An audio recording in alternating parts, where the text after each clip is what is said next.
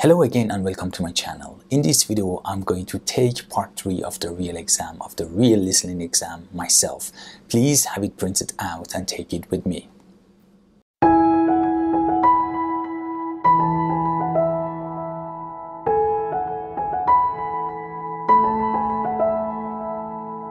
Hi again, Hossein here. In this video, I'm going to take part 3 of the real exam myself. So, unlike other tests, this test, the type of question you can find here is not multiple choice items. The multiple choice items are in section 4 of this test and I'm going to go for the standard method, okay? And I'm going to test that not very standard method in video 9 uh, with the second practice test. So, Take it very carefully with me. Alright everybody, here we are, part 3 of the exam, of the listening exam.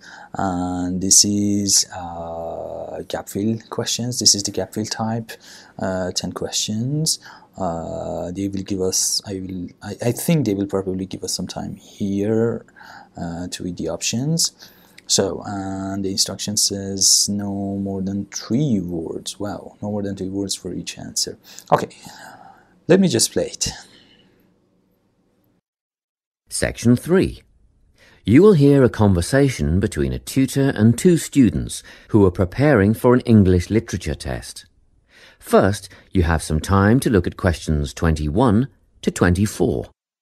Okay, the name of the novel, protagonist, the main character in the story, Mary, really nice in time period, early in I don't know, in the romantic in the romantic era maybe. And Mary moves to UK, Miss Colin, who thinks he will never be able to. Okay, they become friends. Listen carefully and I, I pause it. I give myself a little more time, okay? Because this is practice. Because this I don't want to compete with myself. I want to improve my score, okay? Uh, point of view omniscient. Omniscient means all knowing. Um, a, a, narrator that knows everything about all the characters in the story. Narrating, okay, yeah, that's that's that's what I just told you. Uh, feelings, opinions, and something. Sensibilities, maybe. Answer questions 21 to 24. Hello, Lorna, Ian. Glad you could make it. You're the only two who put your names down for this literature tutorial, so let's get started, shall we? I want to run over some aspects of the novel The Secret Garden with you before the test next week. Be sure to take some notes and ask questions if you need to. Hey, Lorna, have you got a spare pen? Sure, here you are. OK. So, the story follows two key characters.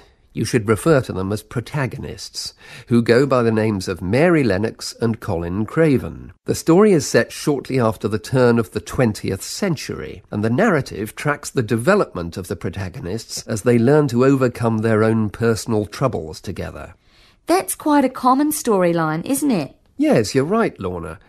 So, what can you tell me about the character of Mary? Well, in the beginning, she is an angry, rude child who is orphaned after a cholera outbreak and forced to leave India and move to the United Kingdom to her uncle's house in Yorkshire. That's right.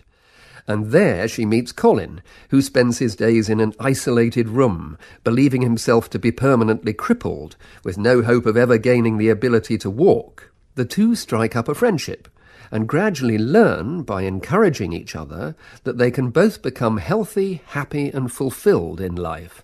Will we need to remember a lot of these details for the exam? Just the basic outline. Examiners don't want to read a plot summary, they know what the book is about. Focus on narrative techniques instead, such as point of view. What's that mean?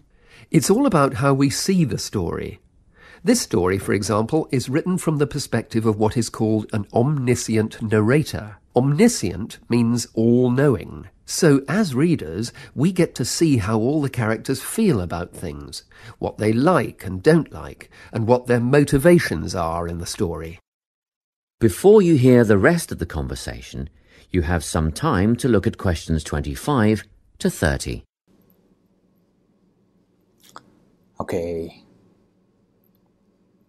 so this is motivations, okay, what their motivations are. Now, okay, I'm going to go on and continue. Uh, audience good for children. Audience. Story simple to follow. Symbols, visualize them that represent. Oh, oh, something I just forgot to, to, to, to tell you here. Cholera, cholera outbreak. It's a disease. Uh, there is a nice story by I think Gabriel Garcia Marquez. Love in the time of cholera. It's a very nice story. Uh, visual items that represent symbols, visual items that represent, I don't know, the robin redbreast. So these are the symbols. Do you see this column here? Symbols that represent something. One of the symbols is this, one of them is this. So it, it follows this one. I have to read everything, okay? Don't jump from that one to this one the portrait of Mistress Craven. Don't jump from this to this. Read everything here. Uh, motives, patterns in the story, the Garden of Eden, secrecy, metaphorical and little transition from secrecy. So motives. So there are two motives here.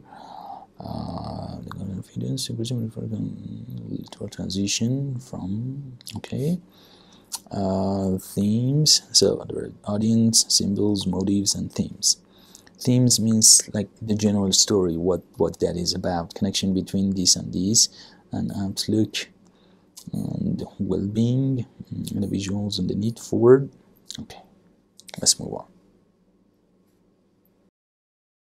Now listen and answer questions 25 to 30. Won't it be hard to write a technical analysis? After all, it's a kid's book. Well, it was initially pitched at adults, you know. But over the years, it has become seen as a more youth orientated work. And you're right in a sense. The simple vocabulary and absence of foreshadowing make the story very easy to follow and ideally suited for children. But that doesn't mean there isn't much to analyse. Look at the symbolism, for instance. Symbols are things, right? Material things like objects that stand for abstract ideas. Absolutely, yes. And the author uses many of them. There's the robin redbreast, for example, which symbolises the wise and gentle nature that Mary will soon adopt. Note that the robin is described as not at all like the birds in India. Roses are used as well, as a personal symbol for Mistress Craven. You'll see they're always mentioned alongside her name, and Mistress Craven's portrait can also be interpreted as a symbol of her spirit. Are symbols just another name for motifs? No, motifs are a bit different. They don't have as direct a connection with something the way that a symbol does. Motifs are simply recurring elements of the story that support the mood. Are there any in this novel? Yes, two very important ones. The Garden of Eden is a motif. It comes up a few times in connection with the garden of the story. And then you've got the role that secrets play in the story. In the beginning, everything is steeped in secrecy, and slowly the characters share their secrets, and in the process move from darkness to lightness, metaphorically, but also, in the case of Colin, quite literally.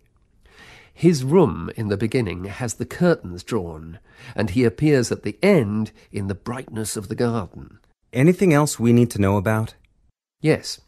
Nearly all novels explore universal concepts that everyone has experienced. Things like love, family, loneliness, friendship. These are called themes. The Secret Garden has a few themes that all centre on the idea of connections. The novel explores, for example, the way that health can determine and be determined by our outlook on life. As Colin's health improves, so too do his perceptions of his strength and possibility. The author also examines the link between our environment and our physical and emotional prosperity. The dark, cramped rooms of the manor house stifle the development of our protagonists. The garden and natural environments allow them to blossom, just as the flowers do. Finally, this book looks at connections between individuals, namely Mary and Colin. This necessity of human companionship is the novel's most significant theme, because none of their development as individuals would have occurred without their knowing each other. Well, that about sums it up, I think. That's a great help, thanks. Yes, thanks very much. That is the end of section three. You now have half a minute to check your answers. All right, everybody.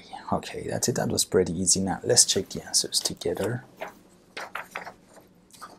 Okay, the first one is the secret garden. So capital, capital, because this is a proper noun. It's a proper name. Don't forget it. 20th century. Yes, that's it. 20th century. Uh, walk. Yes. Motivations. Motivations uh, abstract ideas abstract ideas not idea okay represent abstract ideas and roses s plural s and 27 darkness to lightness yes darkness to lightness that's right and off and outlook. Yes that's it. That's correct. Environment and environment. The mind the spelling okay? Environment. Many people don't write this in here. Environment like government. Yeah? Government. Okay? So that is very important. Environment. Uh, and a visual need for human companionship human companionship yeah that's it thank you everyone for taking this test with me if you have any questions about any parts of the exam, please leave them in the comments and I will get back to you as soon as I can. And don't forget to like and share this video with your friends and subscribe to my channel for more videos. Thank you.